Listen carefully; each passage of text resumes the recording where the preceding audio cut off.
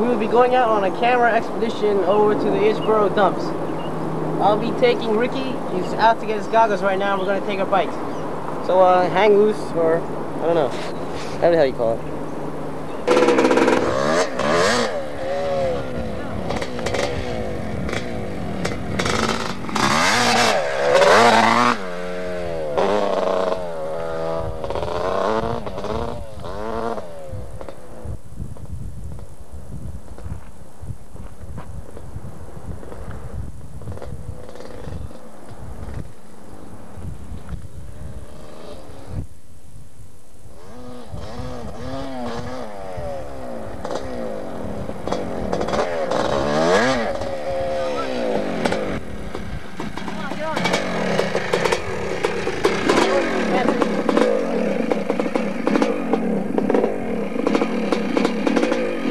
on, right? Come